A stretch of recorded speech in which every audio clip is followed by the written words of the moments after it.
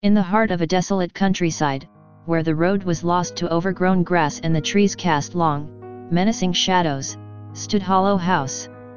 This abandoned mansion had long been the stuff of local legends, a place spoken of only in hushed tones around campfires. No one dared to go near it, for they said it was cursed. The house itself was a dark, looming monstrosity, its windows shattered and its once grand facade now crumbling with age. Ivy crawled up the decaying walls, and the entire structure seemed to sag under the weight of its own malevolence. It was said that no one who entered Hollow House ever returned. One moonless night, a group of daring teenagers decided to prove the legends wrong. Among them was Sarah, the fearless leader of the group. Armed with flashlights and a misguided sense of invincibility, they approached Hollow House, its grotesque silhouette growing larger and more ominous as they drew nearer. As they stepped inside, the air grew unnaturally cold, and a suffocating feeling of dread settled over them like a shroud. The house was a labyrinth of decaying rooms, each more foreboding than the last. It was as if the very walls held memories of the horrors that had transpired within. In the dim light of their flashlights, they ventured deeper into the house, their voices reduced to mere whispers.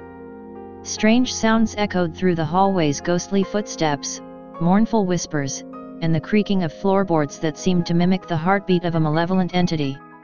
Sarah led her friends to a grandiose, dilapidated ballroom. It was there that they encountered something that defied explanation a flickering, ghostly figure that appeared to be dancing in the moonlight that filtered through the shattered windows. Its movements were graceful and haunting, and it beckoned them to join in the spectral waltz. Paralyzed by both terror and fascination, the teenagers hesitated, torn between the eerie beauty of the dance and the gut-wrenching fear that gnawed at their souls.